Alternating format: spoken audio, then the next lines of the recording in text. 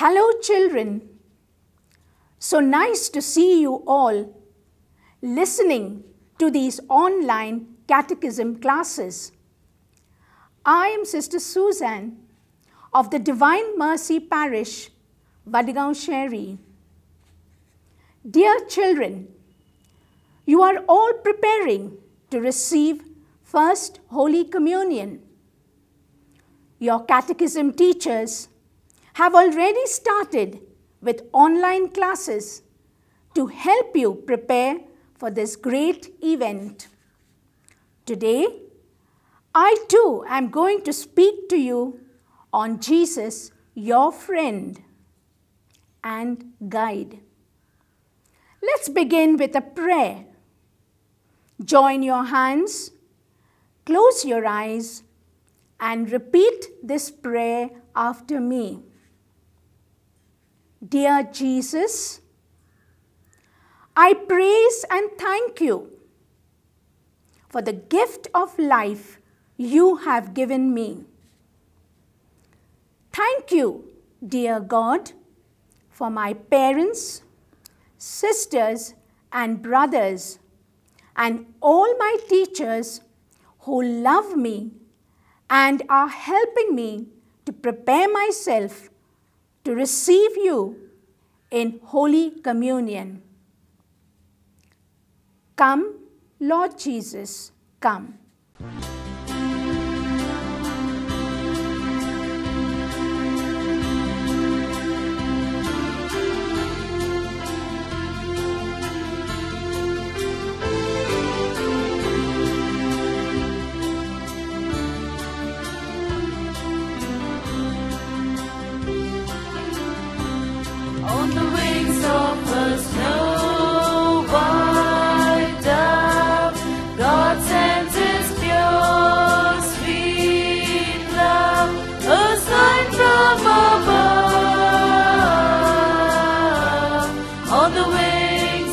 Wings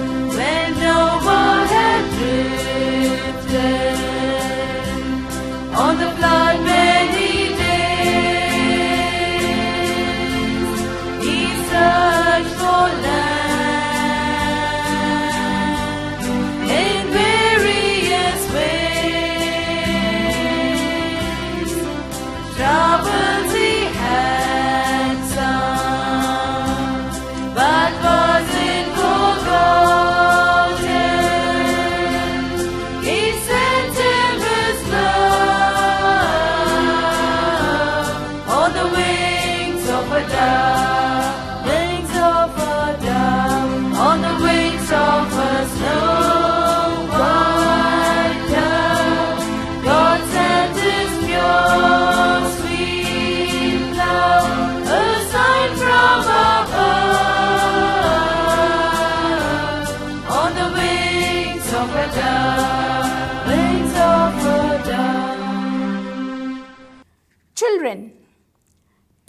Of someone very dear to you besides your family an uncle, an aunt, a friend who may be abroad and whom you have not met for a very long time. Suddenly, you get a call from this person that she or he is coming to your house to visit you.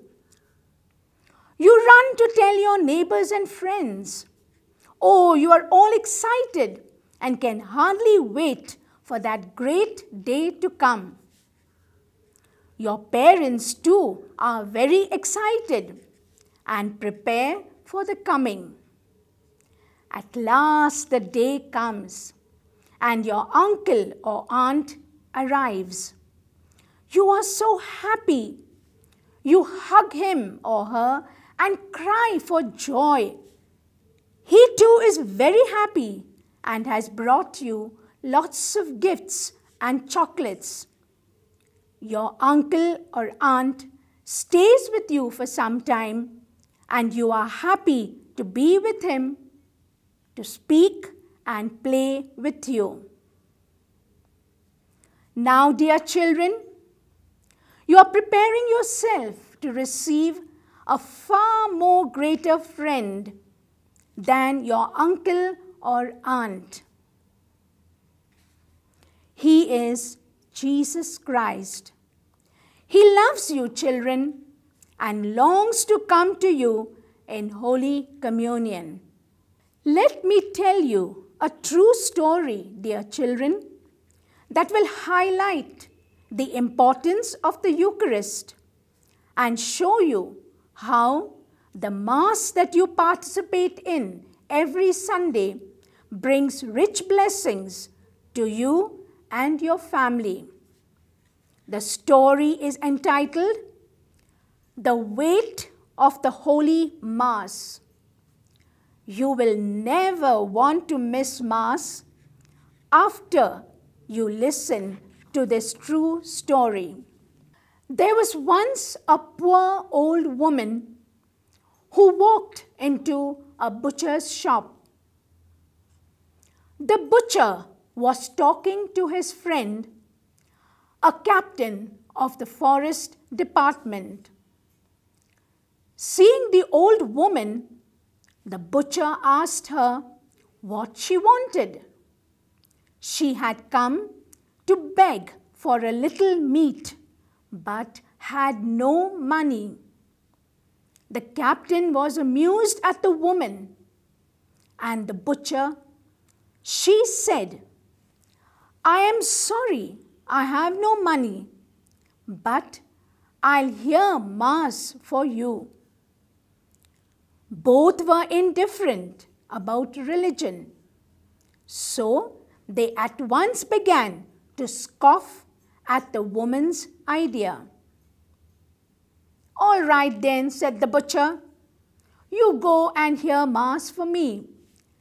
And when you come back, I'll give you as much as the Mass is worth. The woman left the shop to attend Mass. After Mass, the woman returned and approached the counter and the butcher said, All right, then we'll see. He took a slip of paper and wrote on it, I heard a mass for you. He placed the paper on the scales and a tiny bone on the other side, but nothing happened. Next, placed a piece of meat, but still the paper proved heavy. Both men were beginning to feel ashamed of their mockery, but continued their game. A large piece of meat was placed on the balance, but still the paper held its own. The butcher was exasperated, examined the scales, but found they were all right. What do you want, my good woman? Must I give you a whole leg of mutton? At this, he placed the leg of mutton on the balance, but the paper outweighed the meat. A larger piece of meat was put on, but again the weight remained on the side of the paper. This so impressed the butcher that he was converted and promised to give the woman her daily ration of meat.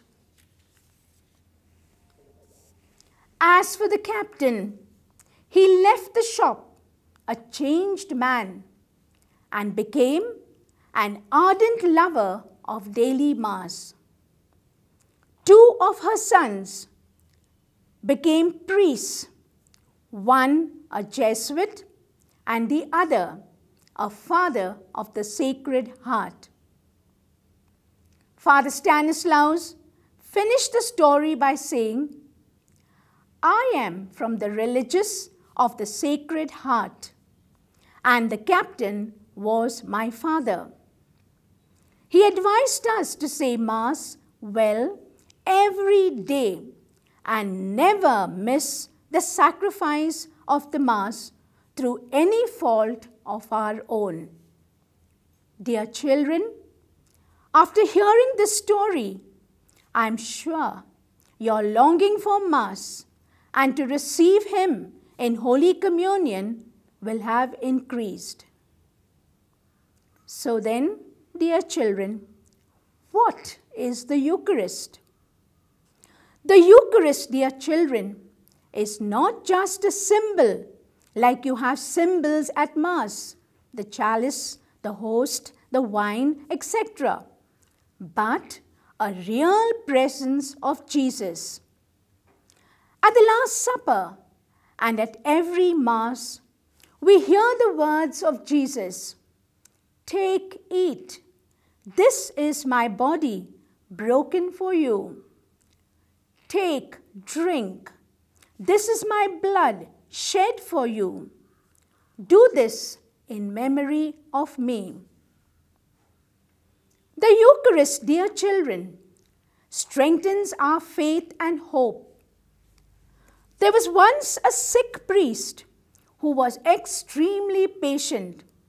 One day, a physician had to perform a painful operation on him.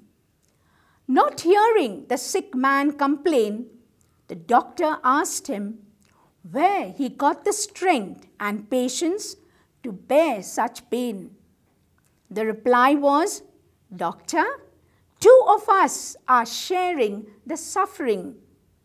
Today, God has come down to me in Holy Communion, and I am sharing my suffering with Him. The feast of the most precious body and blood of Jesus was instituted by Pope Urban IV. The feast was already celebrated in Belgium at the request of Saint Juliana, a holy nun to whom our Lord appeared in a vision and made known his wish. This feast is known as Corpus Christi, body and blood of Christ, and is celebrated on the second Sunday after Pentecost. Children, you must have heard in your history class, or you may soon learn about Napoleon Bonaparte in the early 19th century. One day, his generals were discussing and comparing their master's great battles and victories. They wanted to know which was the happiest day of his life. They thought of the very great battles and victories that he had won. But the emperor looked very thoughtful for a while and said, The happiest day of my life was the day of my first Holy Communion. I was near to God then. In the Eucharist, Christ lets us feed most intimately on the divine life, which makes us blood relations. That will surely be the happiest day of your life when Jesus enters your heart. Dear children, when we eat ordinary bread, our body digests and assimilates it. But when we eat this living bread, the Eucharist, the living Christ transforms us by giving us his life and uniting us to himself. Jesus was broken, his body for us on the cross. The Eucharist is a clarion call to all of us to be broken and shared. We have so many examples of persons like Oscar Romero, Rani Maria, Maximilian Kolbe, Graham Staines, who shed their blood that others may live. They represent the modern bodies of Christ, their lives being truly Eucharistic. Dear children, let us now listen to the song on the Eucharist.